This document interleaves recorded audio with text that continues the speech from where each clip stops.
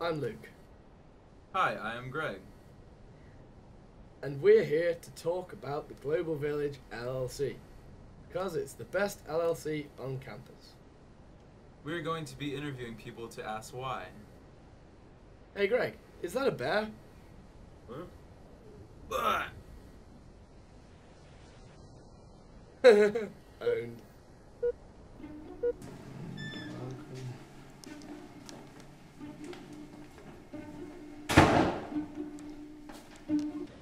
What's your name and where do you come from? My name's Riley Youngdell. I'm from Rathdrum, Idaho, near Coeur d'Alene, Idaho, up north. From. Uh, my name is Chang Shik Moon, or you can just call me Eddie. I'm from South Korea. Alex Richards, and I come from Maple Valley, Washington. From? My name is Francisca and I'm from Germany. Uh, Will Simon, coming from Bend, Oregon. My name is Jennifer Gadam. I'm from Maryland.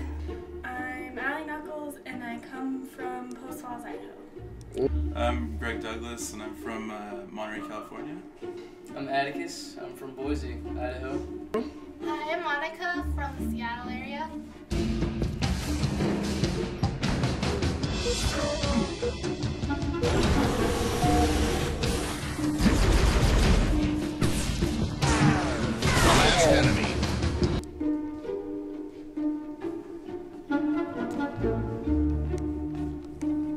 How is life in the global village? I like it a lot. Get to meet a ton of foreigners that are interesting. Get to debate about a lot of stuff, what's different in each country, especially with this guy, Luke. And yeah. How I feel? Mm-hmm. It's good. It's good. You know, a lot of original, like a Luke from England. this guy American. That's right. This guy South Korean. It's awesome, especially compared to that, you know, dump over there. having my own kitchenette. That's nice. Tied the leader. Lost the lead. If you were a variety of fruit, what fruit would you be? I don't know. Are coconuts fruits? Tied the leader. Lost the lead. What is the most common Korean food? Meal.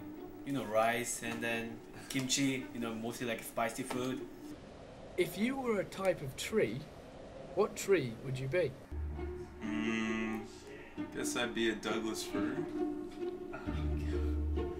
It's such a difficult question to answer. I mean, there's so many, so many things to say. Maple. Maple. Buckwood, you know, I wish I was tall. I could say redwood. And now a unique interview with our whole president. My name's Zoe and I'm from England. I'm the whole president of the Global Village. Right. How is life in the global Village? I village? like living in Global Village because I get to live with a variety of different students, I get to live with international students and American students. If you were a type of biscuit, what biscuit would you be? Uh, chocolate digestive. So that is the Global Village. Uh, hope you enjoyed this little clip. Uh, thanks very much.